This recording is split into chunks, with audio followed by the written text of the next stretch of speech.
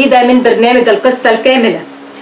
الحلقة يا جماعة هتكون مهمة جدا جدا. أتمنى إنكم تعملوا شير للحلقة نظرا لأهميتها. هنتكلم عن مواضيع كتيرة النهارده ولكن في المقام الأول هنرد على بيان يعني منتشر على السوشيال ميديا. البيان ده تقريبا مطلعينه التيار العلماني القبطي وبعض الأصوات اللي في المهجر. آه كاتبين وبيخاطبوا قداسة البابا ودروس الثاني وبيقولوا شوية مطالب كده إحنا هنحللها وهنفسر أمور كتيرة جدا جدا بتحدث خلف الكواليس. نشوف كاتبين إيه في هذا البيان وهنحلله مع الكاتب والإعلامي جرجس بشرى وأيضا هيكون معانا ضيف في هذه الحلقة الباحث والكاتب كريم كمال متخصص كمان في الشأن الكنسي والقبطي. أيضا هنتكلم عن نيافه الأنبا دانيال سكرتير المجمع المقدس وحقائق تقال لأول مرة ومفاجآت أيضا صادمة عن نيافه الأنبا بافلي. وكمان هنتكلم عن التصريحات النارية من نيافه الأنبا بولا. آخر تصريحات كشف أمور كتيرة جدا بتحدث بداخل المجمع المقدس ومخاطبات ما بينه وما بين سكرتير المجمع المقدس. هل كان في استجابة منه ولا لا؟ مساء الخير يا أستاذ كريم. مساء النور. آه أستاذ كريم آه حضرتك آه سمعت الفيديو المتداول على السوشيال ميديا بتاع نيافة الانبا بولا كان بيتكلم عن السمينار الأخير وحاجات كتيرة جدا. كواليس هو حاجة كواليس؟ وقال كلام كتير جدا كشف عن أمور هامة وخطيرة. هنقول بعض منها للناس وأحب أعرف آرائكم عليها إيه. السمينار يختص بكل المجامع وليس مجمع نقية. كان في محاضر ما قبل المجمع وأثناء المجمع وما بعد المجمع. يعني هم كانوا هيتكلموا في ثلاث حاجات. ما قبل المجمع وأثناء المجمع وما بعد المجمع. ابتدينا نفكر ليه ما قبل وليه ما بعد. وأثناء هو في توجه معين. يافت الأنبا بولا كان بيقول هو كان في توجه معين لئلا يكون التوجه سياسي مش إيماني. يعني الاختلافات اللي كانت في المجامع دي مجرد حاجات سياسية زي ذات ولغة وثقافة ومش إيمانية. اللي خلى الناس تشك كتير هو أنتوا عايزين تقولوا في الآخر إن التوجه سياسي مش إيماني. وإن كلنا واحد في المسيح أي إلغاء الإيمان والعقيدة بعد كده تبص على المتكلمين إنهم ناس عندهم مشاكل في التعليم وانحرافات إيمانية وتوجهات لا طائفية في تعليمهم. إزاي؟ هل نقبل كآباء تعليم منحرفة؟ يعني المتكلمين بيقول المتكلمين كلهم فيهم أو بيقولوا تعاليم خاطئة هل إحنا نقبلهم؟ دي كانت حاجة برضو قوية من يافت الأنبا بولا. أحدهم يشتم في الأباء البابا شنودة والأساقفة وتعليم الكنيسة. تعليم معادية للأباء لماذا؟ يعلموا بالكنيسة مشاكل في تعليمهم بالإكليريكية. ثالثا المحاضرات عن مجمع نقيه ليه؟ يافت الأنبا بولا بيتساءل ليه؟ آه تاخد ما قبل نقية وما بعد نقية يبقى هناك توجه ما مش فاهمينه. يافت الأنبا بولا بيقول في توجه إحنا مش فاهمينه. بعد كده تبص على المتكلمين إنهم ناس عندهم مشاكل في التعليم وتوجهات لا طائفية. في تعليمهم إزاي؟ تعليم غير أرثوذكسية لا طائفية. هناك تخوف وتشكك في نية الهدف للسمينار إلى فرض توصيات معدة مسبقا موضوعات مقلقة. وتوتر بالشباب الكنسي. في ال social media أدى إلى احتقان وتخوف من توجيه الكنيسة إلى تعليم منحرفة. وبعدين حاطين اتنين آباء أساقفة والاتنين مسكوا وكالة الإكليريكية وهم سمحوا بتعليم منحرفة. وكان بيقصد نيافة الأنبا ميخائيل قبل كده ونيافة الأنبا مقار تقريبا رغم وجودهم على رأس الإكليريكيات. يبقى في تحفظ على الأساقفة دول سمحوا بتدريس تعليم منحرف في الإكليريكية. هو قصده برضو عن يافت الأنبا ميخائيل لما كان ماسك وكيل الإكليريكية وقتها وين يافت الأنبا مقار.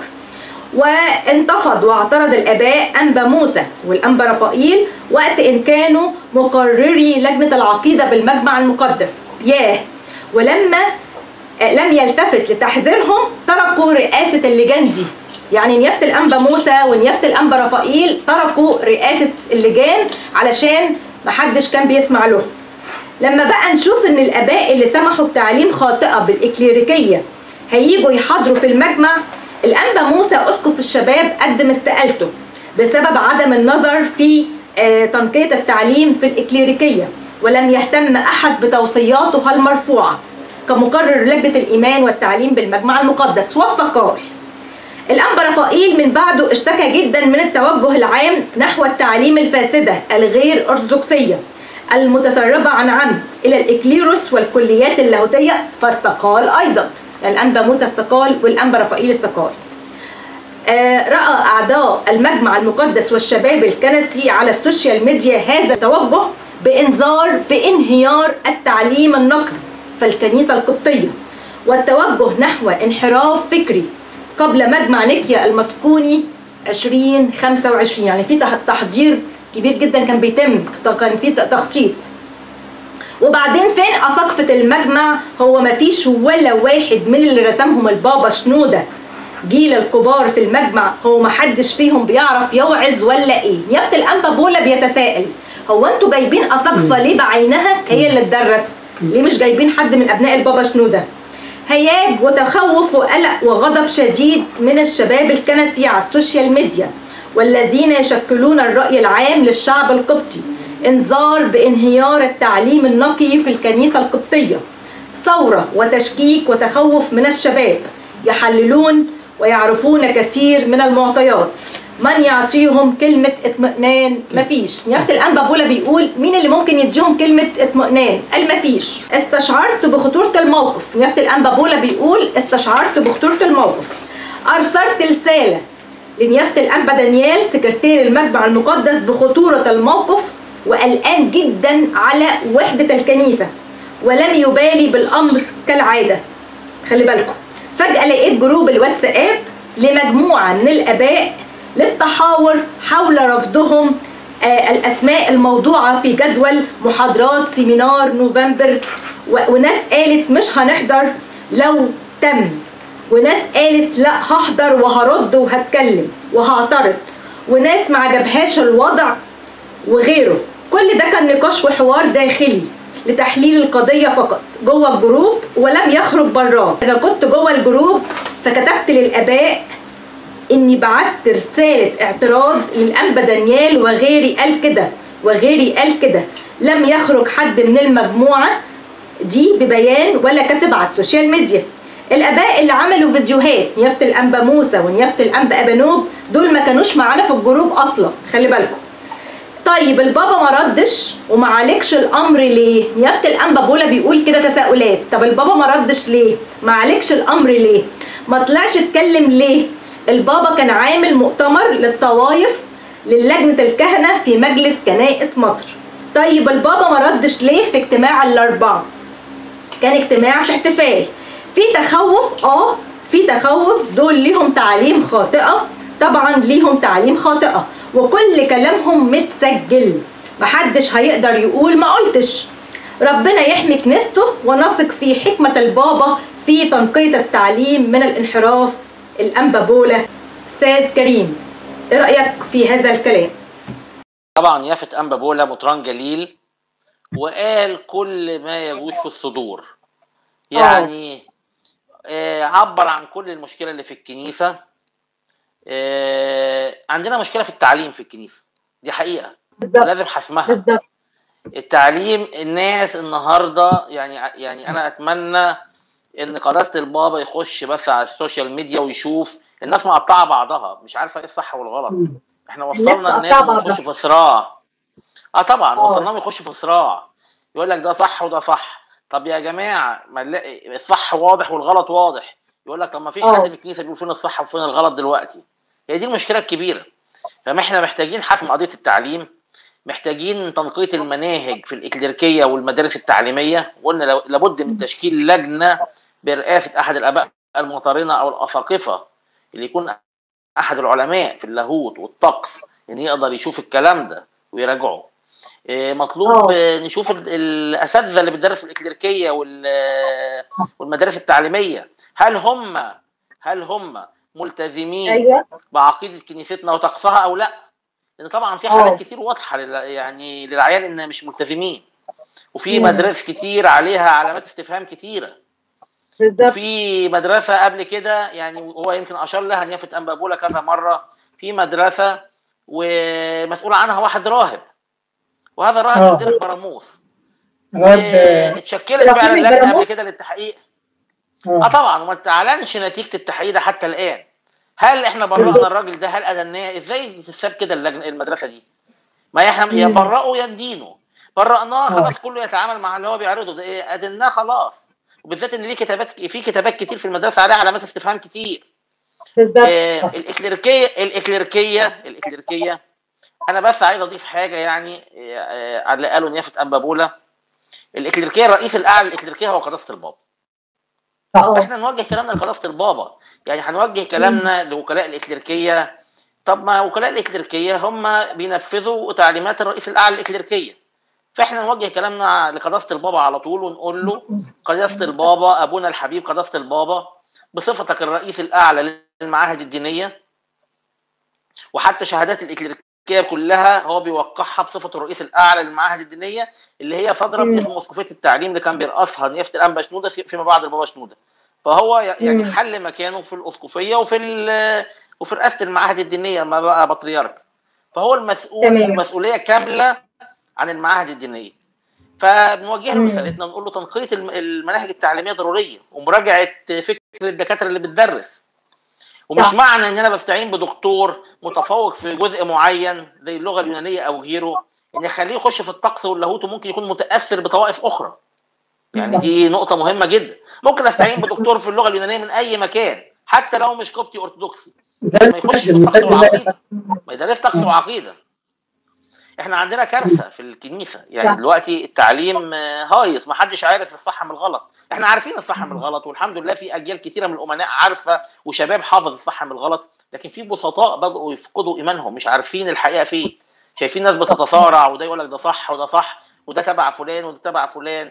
وأنا بأكد تاني مفيش في الكنيسة القبطيه الارثوذكسيه حد تبع حد. مفيش حاجة اسمها شنديين ولا كورلوسيين ولا ولا متاويين. مفيش الكلام ده. في حاجة اسمها عقيدة سليمة قبطية أرثوذكسية توارثناها عن الأجيال مصدرها الإنجيل المقدس ومصدرها التسليم. اللي يخرج عن الكلام ده هو مش قبطي أرثوذكسي ايا كان بقى اسمه يعني. واللي ملتزم بالكلام ده إحنا نمشي وراه. ده المفروض. بس مين النهارده يحسم للجيل الجديد؟ مين يحسم للبسطاء الكلام ده؟ اللي محتاجين نحسم للبسطاء الكلام ده إن يكون في وضوح نقول التعليم ده صح والتعليم ده غلط. فرسالة نيافة البطران الجليل الانبا بولا رسالة في مكانها جدا. واتمنى إنها تكون لها صداها عند قداسه البابا والمجمع ويتم بسرعة تشكيل لجان لتنقية التعليم وفحص مناهج الإكليريكية والمعاهد الدينية الموجودة والمدارس الموجودة وخصوصا المدارس اللي بعضها مش تحت السيطرة خالص للأسف الشديد. تمام أستاذ جرجس إيه رأيك في تصريحات نيافه الانبا بولا وهل هو جرس إنذار فعلا اللي بيحصل ده؟ اتفضل. يعني بصراحه مم. أنا أتفق تماما مع الصديق العزيز أستاذ كريم كمال فيما قال آه ولكن قبل أي شيء مم. أحب أن أوجه تحيه خالصة مم. لنيافة الانبا بولا لأنه خرج عن صمته مم. الانبا بولا رجل غيور على الكنيسة المقدسة عندما يرى خطأ لم يصمت صح ومجرد خروجه مم. معناه وخروج الآباء اللي هم أكثر من 65 أسقف بعد المذكرة معناه إن الكنيسة بدأت إيه، تخاف في خوف وقلق على ما يحدث في الكنيسة. إيه، مجمل الحوار بتاع نيافة الأنبا إيه، بولا أن هناك حصانة للهراطقة ياه حصانة آه. يتم إعطاء حصانة للهراطقة من عدم المحاسبة. مم. هناك فوضى تعليمية اختراق لمفاصل الكليات الإكليريكية صح. إيه، اختراق الكنيسة بمدارس تعليمية مخالفة. مم. يافت الأنبا بولا قال كلمة خطيرة. مم. نقل إن الشعب في حالة غضب. صح. وقلق. وقلق. قلقان على الكنيسة. قلقان على الكنيسة. لأن صح. اللي بيحصل ده ومحاولة تغيير هوية وإيمان الكنيسة من أجل مشروع الوحدة الذي يتم التجهيز له تجهيز له. هو خطر على الدولة كلها وعملنا حلقة عن الشق السياسي للوحدة وناس من المسلمين كمان. أنا فوجئت إن في مسلمين بيقولوا نشكرك. طبعا. لأنك عرفت هوية البلد هوية البلد طبعا مهم. طبعا. طيب في حاجة مهمة جدا تاني. مم. يعني نيافته بعد ما اتكلم عن القلق تكلم بقى عن إن هو تخيل لما أسقف مطران كبير في الكنيسة مم. ويبعت للبابا ويبعت لسكرتير المجمع محدش المقدس يرد عليهم يا جماعة ومحدش يعبره آه. أمال هيعملوا إيه؟ صح هيعملوا إيه صحيح لما كل شوية من عشر سنين ولا من كذا سنة مم. أو من تحديدا من ساعة الانبا دانيال ما مسك آه سكرتير المجمع المقدس يلاقوا غلط يبعتوه طنشوهم محدش افرض- يرد عليهم طيب حتى. افرض آه. في كارثة هتحصل في التعليم يا أستاذ. يرجس ده قال نيافه الانبا موسى ونيافه الانبا رفائيل استقالوا. استقالوا ده أشار. لكارثة مهمة. بالظبط. خلي بالك يا أستاذ آه، كريم. مم. الأنبا بولا أشار لحتة خطيرة. قال لك في اتنين استقالوا. اتنين استقالا من آه، رئاسة لجنة الإيمان والتعليم. بسبب إن هناك حصانة للهرطقة. بالظبط. هناك غطاء وحماية للهرطقة واصحاب التعليم المنحرفه مم. طيب لكي أكون صادقا. مين اللي بيحمي دول؟ هل نيافة الأنبا دانيال لوحده مسؤولا؟ استحالة أكيد البابا معاه طبعا لابد. أن يكون الغطاء من الرأس صح والحصانة جاية من الرأس مم. وبالتالي رسالة ليه؟ مهمة مم. لقداسة البابا تودروس الثاني خلي بالك الناس بتقول إنك تحصن أصحاب التعليم المخ يعني المخالفة. مم. خلي بالك الناس بتقول إنك تسعى لإقرار مخطط الوحدة التي لا تستند إلى وحدة إيمان وتسعى بكل قوة. مع إنك وإنت أسقف كنت ضد الوحدة. صح. طيب هل أنت بقى لماذا تغير الموقف؟ مم. هناك أناس يتساءلون هل دفع ثمنا ما لكي نصمت ويتم اختراق الكنيسة القبطية الأرثوذكسية وتهدم الكنيسة ويهدم الوطن بعدها طب ممكن أو يعني ممكن برضه أو حاجات يعني مهمة آه، لابد أن نشير إليها نعيد المشهد كده يا أستاذ جرجس مع قداسة البابا شنودة الثالث كان في صفقة اتعرضت. من سفير الفاتيكان الفاتيكان. هنا في مصر بعد زيارته لبابا روما آه، سفير الفاتيكان هنا عرض عليه إحنا إحنا هناخد الكنائس الكاثوليكية. هنشتغل. الكنائس والاضجره الكاثوليكية والمدارس والجمعيات جمعيات. بحيث تعترف بأولوية بابا روما عليه. يعني بوصية بابا آه، إيه، وصيته يعني إحنا ناخد الأوامر منهم. إحنا ناخد التعليمات منهم. الخطر هنا على البلد. آه إحنا. هويتنا بقى تتغير لأن أنت بابا الفاتيكان بابا ديني وبابا سياسي بابا دولة. يجمع بين السلطتين. السلطتين. يا. أستاذ آه، يعني أستاذ كريم ما رأيك في إن اتنين كبار من آباء المجمع استقالوا. يستقيلا خطر فعلا. يستقيلا لما محدش بيعبرهم. وفي الآخر لما حد يجي يتكلم افرض هناك خطر شديد.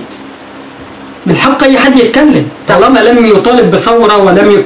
بيدافع عن كنيسته وإيمان كنيسته وكذا وكذا. والمذكرة اللي تم تسريبها دي استحالة تكون من الآباء استحالة من آباء العظام في المجمع. ده تم تمريرها لمحاولة تسويق أن هناك ثورة وشق آه، بين أعضاء الكنيسة وكذا وكذا ولكن ما عرفوش يلموا الموضوع لأن الشعب كله كان ظهير للآباء اللي اعترضوا وكان غيور على الكنيسة وإيمان الكنيسة وغير رادع اللي بيحصل. تمام. أستاذ كريم لما نيافة الأنبا رفائيل ونيافة الأنبا موسى يستقيلوا من اللجان اللي كانوا فيها أو المهام اللي كانوا بيعملوها في لجنة الإيمان والتعليم قبل كده وكانوا بي- بيبعتوا بيانات أو مذكرة متفند فيها البدع والهرطقات أو الأخطاء اللي موثقة. كانوا بيقولوها متوثقه طبعا. فمحدش كان بيرد عليهم. إيه رأيك في الموضوع ده؟ أنا عايز أقول حاجة بس الأول. يعني هو كل اتفضل. الأمور لا يوجد انقسام داخل المجمع أو انشقاق أو أي شيء. خالص. آه. كانوا عايزين يشيعوا. علاقة علاقة جميع المطارنة والأساقفة بقداسة البابا وإن اختلفت الرؤى علاقة جيدة جدا. يعني على المستوى الشخصي تمام. والإنساني بيتعاملوا كويس جدا ومفيش مشكلة بينهم خالص. وبيقدروه وبيحترموه كرأس للكنيسة. ولكن في مشكلة أو قداسه البابا أيوة. يعني له له منهجية إن عايز يسيب كل يعني التعليم قصاد الناس والناس عارفة الصح من الغلط. بس المنهجية دي مع البسطاء ما تنفعش لأن الناس بدأت تتشتت. يعني ده ممكن تكون منهجية ناجحة جدا جوه الكلية الإكليريكية جوه دارسين اللاهوت. لكن مش للناس الناس. النهارده لازم نقول لهم ده الصح والناس الغلط. المدارس. التعليمية دي أما أجيب طالب صغير عمره ما درس وداخل لسه أولى في المدرسة دي وأسيب له كل حاجة قصاده وأجيب له الأستاذ اللي بيتكلم صح وغلط طب ما هو كده اتشتت خلاص مش عارف فين الصح وفين الغلط. فطبعا هي اختلاف منهجية بس اختلاف المنهجية دي لابد من تطويرها ما نلاقي حاجة ما جابت نتيجة عكسية المفروض نغيرها. فأنا بناشد قداسه البابا يعني قضية التعليم وصلت لحد في تراشق في ناس مش عارفة الصح من الغلط فلا بد ولا بد ده إحنا نقول نشكل لجان فعالة تاخد قرار مش لجان ورقية تقول ده صح وده غلط. خلاص اتفقنا ده صح وغلط ده غلط. ما بنقولش دلوقتي ده مين صح. ومين غلط لكن لازم يبقى في مين صح ومين غلط واضح.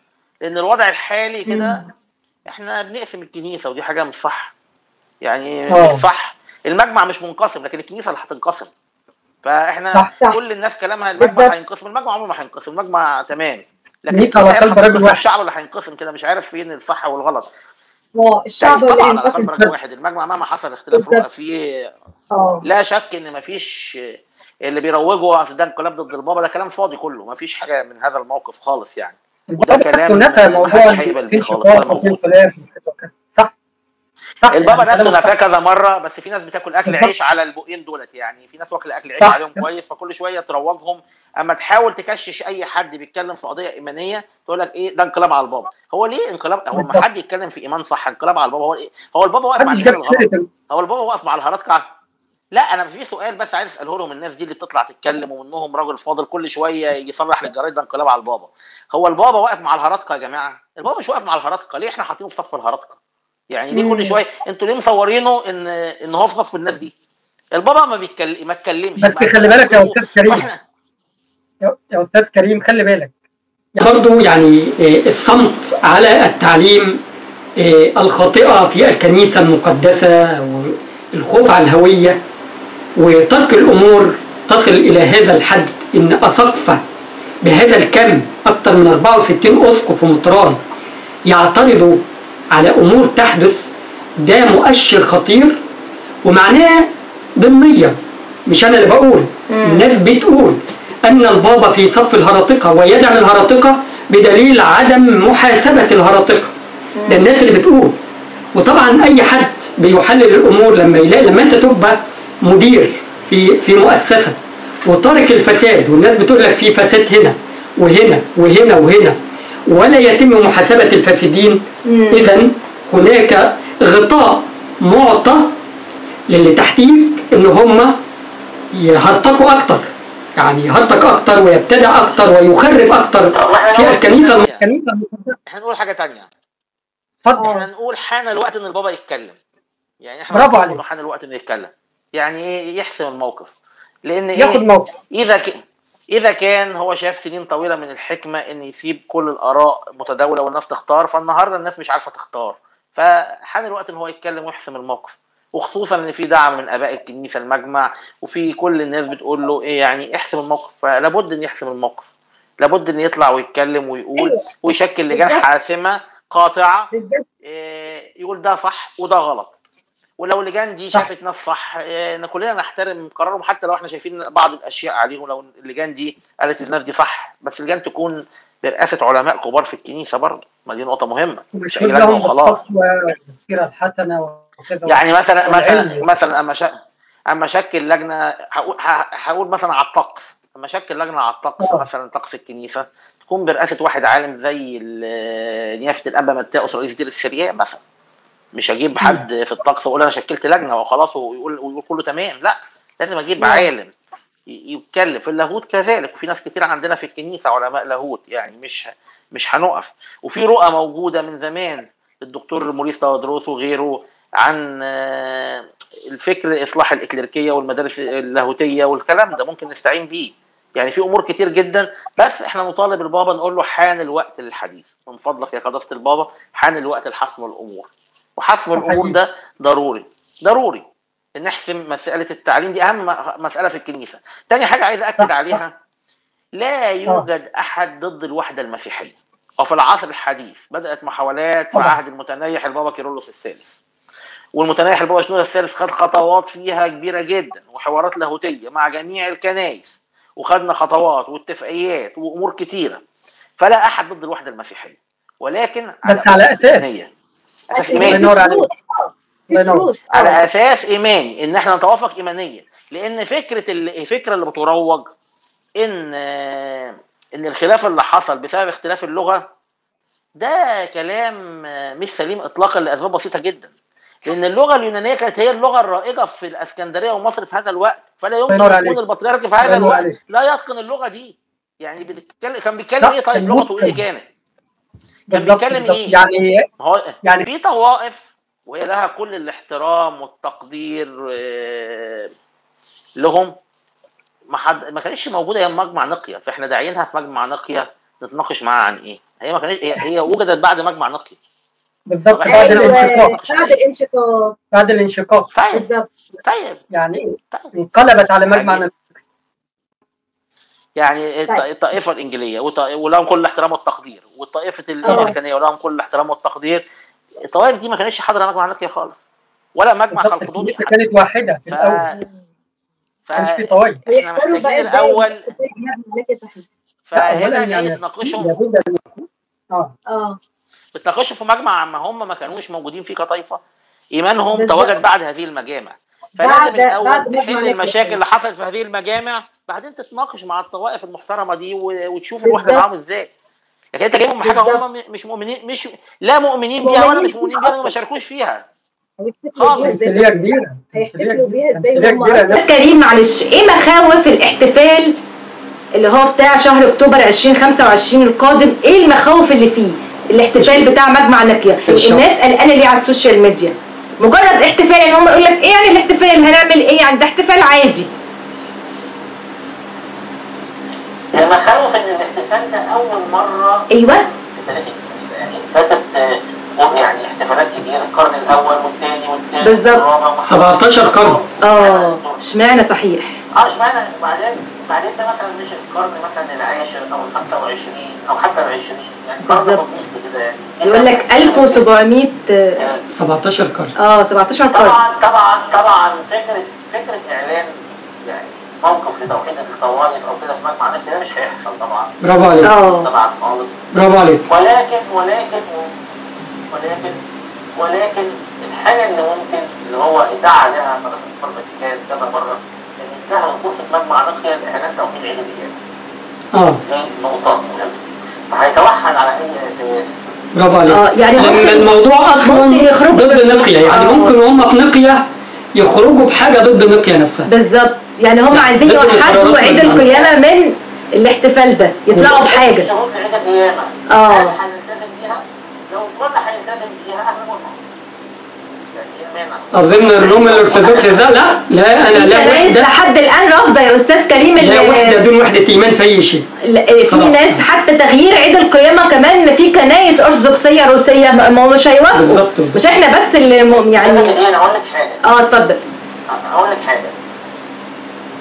اذا إذا الطرف مش ماشي صح في التقويم حد موحد التقويم إحنا ما نقدرش نمنعه أهلا وسهلا بعيد عن الايمان ماشي ما لا، لا، لا، لا. يقولنا إحنا يقولنا على التقويم خلي الاصح والاصح الأستاذ الفاضل الأستاذ الفاضل الأستاذ كريم. اولا محددات مجمع نقية ومقرراته امم لا خروج عليها. حتى هناك مجامع أكدت على إنه لا يجوز الخروج على صح. مقررات مجمع نقية في تعييد أعياد الفصح بالظبط. إزاي نخرج على آه، مجامع قرارات مجامع أو مجمع مسكوني وأيضا على قرار مجامع مكانية وننتهك هذه ال- الم... وننتهك هذه المجامع في مجمع يعني هو- هينتهكوه طب يعني ومعجزه بتاعه. ومعجزه النور المقدس يا إدريس. المقدس وكذا. المعجزة اللي بتحدث كل سنة معجزه برضه- النور لما بتطلع على التقويم بتاعنا دي, هتعمل فيها إيه؟ أنا بدعو إحنا لا لا خلاف إن مجمع نقيه المفروض كل القوائم ملتزمة بيه آه. مواعيد عيد القيامه وهذا المواعيد يلتزم فيها الاهباط والسريان والاربع والربع والصبح يا أستاذ الفاضل لنا على التقويم بتاعنا. يا إحنا أستاذ. موافقين يقول لنا لو جيت انت في البيع تاخد معاك تنضم هنا في المعايا أيوه ما هو ده ميعادنا ما ده اللي كانت بتعيد بيه قبل كده. يقول لنا على التقويم طب بتاعنا ما هي كانت بتعيد بيه قبل كده. آه. طب ما ترجع للكنيسة الأولى ومقررات مجمع نقية وتعيد معانا. وهي لازم تخلينا إحنا اللي نغير. بالظبط. محددات مجمع نقية. هياخد قرار جريء لو قررت الدول الفاتيكان هياخد قرار جريء ويرجع للميعاد بتاعنا. بالظبط. هو ده اللي إحنا بنقول عليه. بالظبط كده. بالظبط. كده. خطوة ودي تبقى خطوة لفتح حوار لاهوتي لاستقبال الجمهوريه خطوة جيدة جدا. بالظبط كده. أنت كده رميت الكورة في ملعب الفاتيكان. آه. برافو عليك. آه. دي أنا كده. عجباني آه، صح كده. أنا برضو معاك. وبعد كده أهو. صح. نفتح حوار لاهوتي ماشي. صح، صح، صح. كده أنت حليت المشكلة. كده انت حليت المشكلة. إحنا نخالف مجمع نقيه إحنا الهدف إن إحنا نخالف مجمع نقيه وقوانينه هنقع تحت حرمان الأداء. الله ينور عليك. وهو ده اللي إحنا. إحنا ما. بنقدرش نخلي في مجمع نكي ما نقدرش. الله ينور عليك. وده اللي بنقول عليه وبنقول للاباء آه. اتفضل. هل حد من ابائنا في المجمع هو قناه البابا والمطارنا والوسط عند السادات يقع تحت الحرمانات اللي بتحط في مجمع اعتقدش يعني. لا استحاله طبعا. والشعب كمان مش مش هيرضى بحاجة زي كده. استحالة صح. صح والشعب كمان مش هيرضى. يعني صح. ده لا خلاف. بعدين دي حتى مش مش قضية خلافية في الكنيسه الارثوذكسيه كل آه. الكنيسه الارثوذكسيه في ميعاد واحد.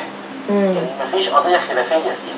امم فلو حتى اختلفنا بعض الكنائس الأعياد إن عيد الميلاد في الكنائس القدسية بعضها بيعيد 25 بعضها بيعيد 7 بعضها بيعيد 6 زي الاربع العيد اللي هنا مفيش خلاف فيه خلاف مح...